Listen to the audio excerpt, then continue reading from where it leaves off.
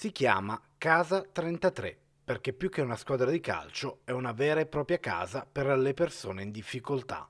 Lo scopo è quello di fare del bene, di aiutare, di divertire e forse anche di distrarre dai tanti problemi della vita attraverso un calcio ad un pallone per uno sport sempre più sociale, dove la parola squadra assume un significato ancora più profondo. Casa 33 è nata lo scorso anno e siamo un'associazione. La, la, nostra idea è attraverso lo sport aiutare le persone. E abbiamo una squadra di calcio appunto che gioca in terza categoria. Quest'anno abbiamo creato anche la squadra di calcio 5 perché eh, i ragazzi quest'anno ci hanno contattato in tantissimi siamo arrivati fino a 38. Quindi proprio la nostra idea è dare la possibilità a tutti di far parte di una squadra, credo che sia una cosa molto importante questa.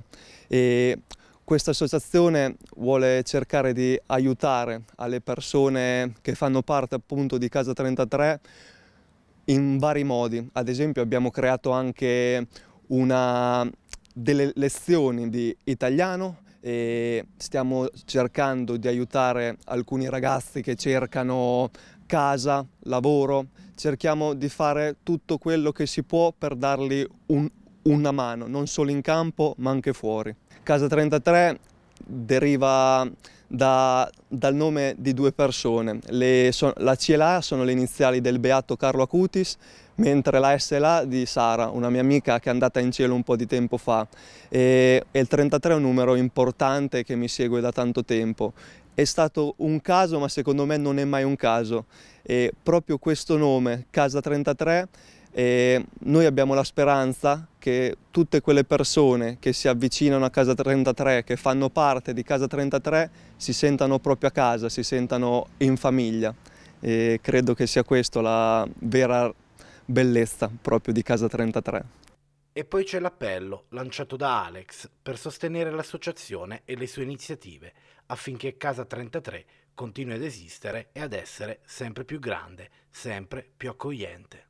Noi siamo contentissimi di tutte le persone che si stanno dando una mano perché noi viviamo di do donazione, quindi qualsiasi donazione per noi è importante. Ad esempio diverse persone ci danno una mano a livello economico, alcune persone ci danno una mano don do donandoci le scarpe, i palloni, eh, le casacche, alcune persone invece ad esempio come il signor Leonardi, il signor eh, il mister Fulvio Giovannetti Azzolini ci danno tante volte una mano proprio nei consigli di campo, tattici e gestionali, quindi ogni persona per noi è fondamentale, qualsiasi cosa eh, per noi è tanto importante. Pensare che eh, spesso dico e, e mi piace ribadirlo, spero che tante persone imparino, inizino a vivere Casa 33,